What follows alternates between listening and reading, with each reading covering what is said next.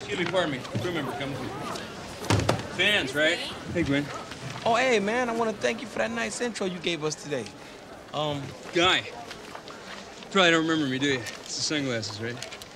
I was on the show in 82, episode 81. Got killed by a lava monster before the first commercial. Ah! Listen, uh, maybe I could sit in and uh, sign a couple autographs? By Grabthar's hammer, by the sons of Worvan, I shall avenge you.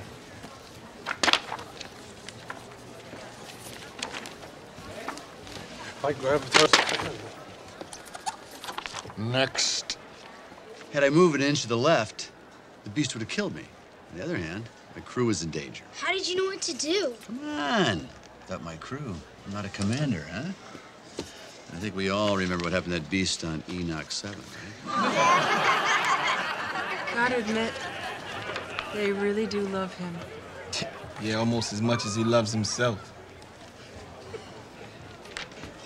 Excuse me, Commander. Hey, just wondering if uh, you could help settle a dispute that my crew and I seem to be having. Um, if you remember uh, in Quasar Dilemma. Excuse me this- for a minute, fellas. I Hadn't even gotten to the relevant conundrum. In episode 15, Nests of Delos 5, I got the feeling that you and the commander kind of had a thing. Did you? No, the commander and I never had a thing. Well, that's her story.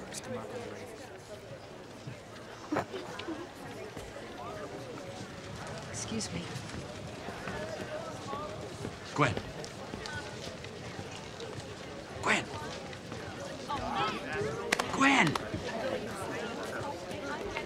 Commander, Excuse me?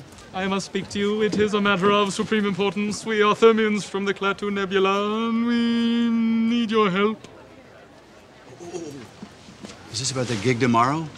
I Just hammer out the details with my agent and make sure there's a limo at my house. Last time I did one of these gigs, they shoved me in the back of a Toyota.